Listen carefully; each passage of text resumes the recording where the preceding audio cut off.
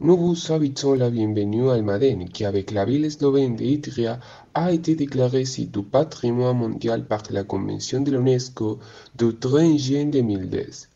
Les délais sont des témoignages de l'exploitation minière et du commerce international de mercure, qui a généré d'importantes chaînes technologiques et culturelles entre l'Europe et l'Amérique depuis des siècles. Nous proposons une visite de différents points d'intérêt touristique et patrimonial de la ville afin que vous puissiez en apprendre davantage sur notre histoire.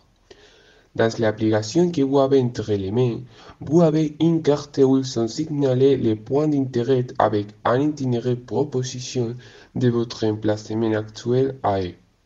Il est situé à l'extérieur de l'école d'ingénierie minière et industrielle d'où vous pouvez accéder à son assemblée historique composée de les ruines de la Real Polición Forcée, le musée historique de mines Francisco Pablo Holgado et un magnifique patio consacré à l'archéologie industrielle.